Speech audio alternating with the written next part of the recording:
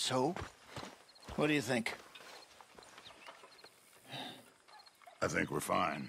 Fine. Well, given the circumstances, I heard things got nasty on that ferry. you could say so. And that won't lead to more repercussions? Eventually, yeah, but like I said, we will keep moving. What do you think, Arthur? I don't know. We're here now. We make the best of it and move on. Exactly.